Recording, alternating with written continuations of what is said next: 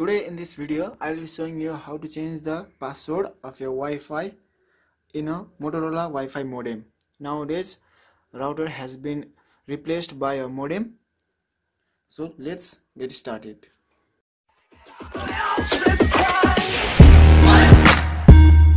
So first of all you have to log into your modem setup.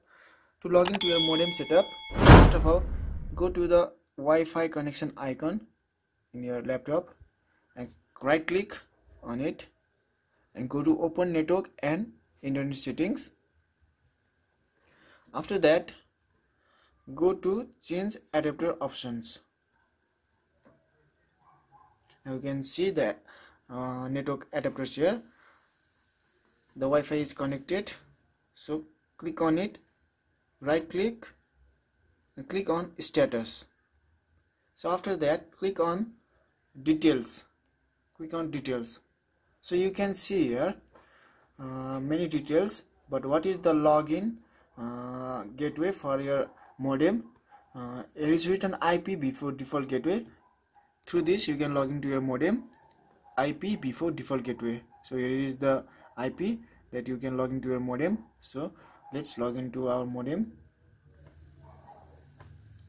This may be different for uh, different modem brands or your ISP so 192.168.0.1 so after putting the IP address you can see your modem uh, login page. So this is the, the login page for your Motorola Wi-Fi modem.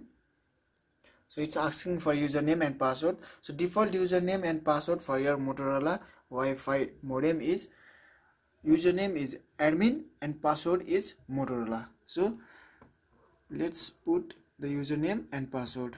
Username is admin. It's the default username and password for all Mo Motorola Wi-Fi modem. And password is Motorola.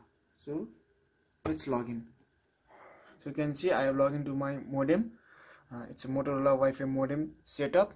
So to change the password of your Wi-Fi you can change it through wireless option and go to primary network settings. So you can see here many options and here is the option for changing your Wi-Fi password. You can see WPA2 PSK security setting passphrase. Passphrase means the Wi-Fi password that you have set up for your Wi-Fi and you can change it as your wish. So this way you can change the Wi-Fi password of your uh, Motorola Wi-Fi modem in an easy way. So if you are confused on how to change the Wi-Fi password and if you don't know the add username and password for your Motorola Wi-Fi modem login page the default username and password is admin and Motorola. Thanks for watching if you like the video don't forget to share and don't forget to subscribe our channel